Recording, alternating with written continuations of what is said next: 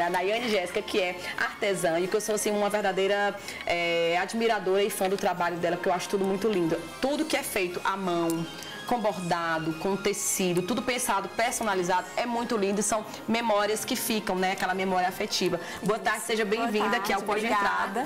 E Nayane, conta pra gente, desde quando você já trabalha como é, artesã, trazendo essas peças lindas para decoração de quarto, de um modo geral, de maternidade? Mônica, é, a Caro Ateliê, ela tem três anos, né? Mas assim, eu sempre fui dessa área do artesanato, eu sempre gostei, mas eu nunca vi o artesanato ali como um trabalho mesmo, né? Era mais um hobby. E aí, em 2020, eu decidi colocar essa ideia em prática, né? E nasceu a Caro Ateliê com essa proposta, né? Inicialmente da maternidade mesmo, né? De atender esse público. E aí foi crescendo, né? E hoje a gente já tem as peças para batizado, né? Maternidade, tem umas peças home também, para presentear, né? A pronta entrega. Ó, ótimo. É, para quem nesse final de ano quer fazer aquela confraternização ou presentear alguém especial, a gente tem as caixas de Natal que você produziu com tecido. Conta pra Sim. gente aí sobre essa peça, por exemplo, enquanto o Marlon foca ela aí pra gente. Essa peça aqui, assim, a Caro Atelier, ela existe há três anos e a gente sentiu a necessidade de trazer peças à pronta entrega, né? Porque como você falou, nossas peças, elas são é, manuais, são personalizadas, então demanda um tempo aí até a encomenda e a entrega.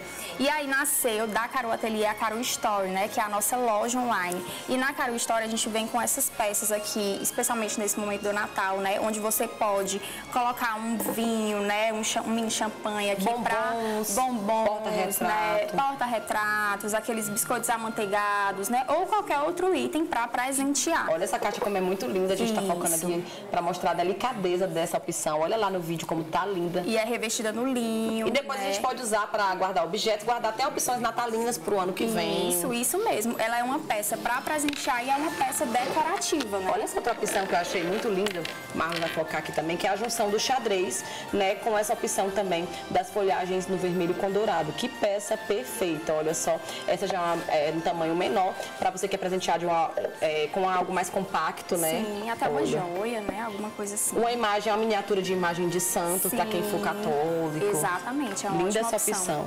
E aí a gente está vendo agora essas opções também, que são as memórias, né? Esse aqui fez uma com tampa em acrílico. Gente, achei super diferente. Foca, mostra aí para ele, porque essa tampa é em acrílico e vem Sim. com o nome personalizado, que pode ser o quê? É, colocar fotos dentro? Como seria? Sim, aqui são as fotos, né? A gente tem opções para foto 10 por 15 e 15 por 21. Olha aí. E aqui a gente vai adicionando, né, as fotos de todos os momentos. Melhor do que um álbum, né? Melhor do que um álbum, né? Aqui também ela é uma peça decorativa, né, para você colocar no móvel da sua casa. E aí tá ali exposto, né? Qualquer pessoa que chegar para lhe visitar, abre aqui a caixa. E pode ver as fotos, vai revivendo, vai comentando. Né? Vai comentando. Eu tenho uma na minha casa e é assim um sucesso. Toda hora meu filho vai lá, pega as fotos. Mamãe, olha aqui a é, foto. É, a gente vai relembrando, né? Então, assim, é, é uma bom. ótima opção de presente, né? De maternidade ali para compor uma decoração também. Falando em maternidade, a gente tem essa opção é, de porta maternidade, que fica Isso. na porta realmente quando vai visitar aí o bebê, né? Eu tô aqui com a opção é, com o astronauta e você com a bonequinha, né? Isso, exatamente. Essa opção aqui que a gente trouxe, ela não está personalizada, né? Então ela serve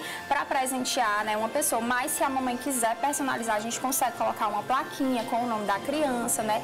Então é perfeitamente possível personalizar também. E aí é uma opção que vai na porta da maternidade e depois compõe a decoração do quarto. Pode ficar fixamente na porta do quarto, como Isso. também é, na na, cômoda, no nicho, né? Exatamente. No cantinho de mesa. Achei lindo também, que é uma outra opção que a mamãe pode personalizar. De repente não quer o nome mais, quer só a letra e adiciona, Isso, né? Exatamente. E para fechar nas dicas, a gente tem que a letra. Essa aqui é uma novidade, né? Isso. Linda. Olha essa letra, gente. Ela é toda feita, as flores são todas feitas em linho, né? São as camélias em linho. Essa inicial aqui, ela é revestida com um material mais nobre, né? Mais resistente. E a mamãe pode usar lá na porta do quarto da maternidade também e depois colocar ela para compor a decoração do quarto, né? Na cômoda também, numa prateleira, fica perfeito o tamanho. Tudo. A gente vai ver agora umas fotos, por exemplo, isso aqui que é a, a, a porta maternidade do quarto do pequeno Henrique. Olha que coisa mais linda, porque eu já tinha visto a palha italiana em vários itens de decoração. Até tenho no nicho da minha filha. Mas, gente, na porta maternidade, que novidade, hein? Ficou lindo demais, olha só. Super diferencial. Aqui a gente tem também as opções que pode personalizar as caixas das lembranças, Isso. olha, com a letra, com o monograma, né? e fazendo aquela junção com outras caixas para colocar aí as lembranças. Vamos falar agora aqui nas opções que a gente tem de lembrancinhas, que vem também personalizada, né? E aqui seria lembrancinha de batismo, Isso, aí são as lembranças de batismo, né? Que você pode dar para os padrinhos, para os avós, né, da criança. A gente personaliza com o nome deles ou com o nome da criança. Já amei, porque aí não fica aquele negócio, na hora de distribuir as lembranças, já está lá de cada família. Isso. Eu acho que as pessoas se sentem até honradas e lisonjeadas com uma lembrança como essa, né?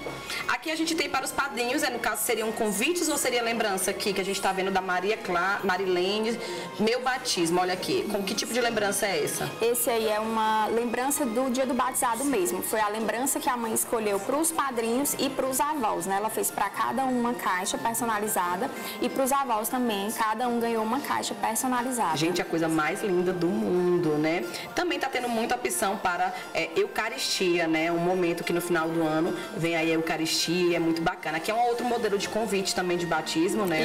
Isso, aí um modelo de convite, o porta-retrato personalizado com o nome dos padrinhos e do afilhado. Gente, que coisa linda. Então, parabéns pelo seu trabalho. É, para quem ligou agora a TV, a entrevista vai ficar disponível no nosso canal no YouTube, no portal A10 Mais e também no Instagram, que é o nosso Instagram é, PGM. Pode entrar com as dicas aqui da Nayane, que é até. É, proprietária do Caru Atelier, que ela é artesã e trouxe essas dicas especiais para fechar com tudo nas dicas também para presentear nesse Natal, né? Isso Coisa mesmo. linda. Parabéns pelo seu trabalho, volte sempre trazendo novidades.